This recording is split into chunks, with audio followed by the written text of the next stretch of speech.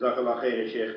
آه بعد الشباب آه يقعون في المعاصي آه في ليالي رمضان. فما نصيحتك لهؤلاء؟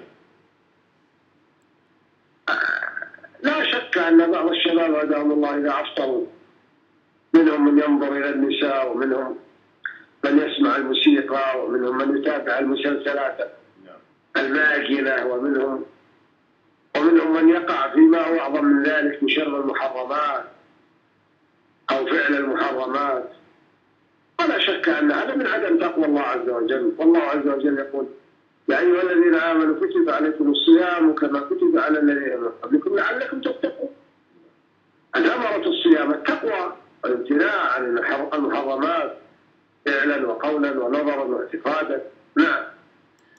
جزاك الله خير يا شيخ. السؤال Alhamdulillahi Rabbil Alameen wa sallallahu wa sallam ala nabiyyina Muhammad wa ala alihi wa sahbihi wa sallam amma ba'd. Ayyala habita fillah Shaykhna Shaykh Sa'id hafidhallahu ta'ala was asked some of the youth fall into sins during the nights of Ramadan. So what is your advice to them? He answered hafidhallahu ta'ala no doubt that some of the youth may Allah guide them if they fall into sins some of them have relations with women from them are some who listen to music and some uh, following soap operas and so forth.